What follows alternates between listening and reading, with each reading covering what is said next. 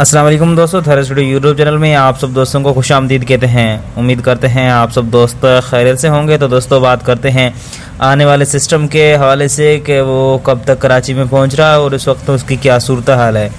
दोस्तों मुकमल अपडेट देने से पहले आप सब दोस्तों से पहले की तरह छोटी सी गुजारिश है कि मेरा यूट्यूब चैनल थर स्टूडियो को सब्सक्राइब करें और इस वीडियो को आखिर तक ज़रूर देखें।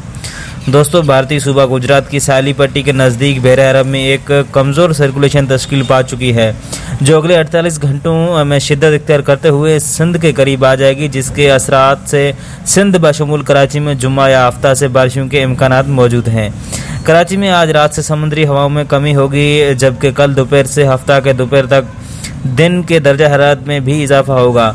ज़्यादा से ज़्यादा दर्जा हरारत तैंतीस से चौंतीस मतवा का है। नमी का तनासब बढ़ जाने की सबब महसूस करने वाला दर्जा हरारत अड़तीस से उनतालीस डिग्री जा सकता है, जिससे पसीने आ सकते हैं। समुद्री बादलों की आमद सुबह और रात के अवकात में जारी रहेगी। वीडियो देखने का शुक्रिया। मजीद अपडेट के लिए देखते रहें हमारा यूट्यूब चैनल थर स्टूडियो। साथ साथ सब्सक्राइब करके घंटी का बटन दबा दें, ताकि आने वाले हर वीडियो की नोटिफिकेशन आप तक जल्द से जल्द पहुँच सके। अपना ख्याल रखिएगा। शुक्रिया। अल्लाह हाफिज़।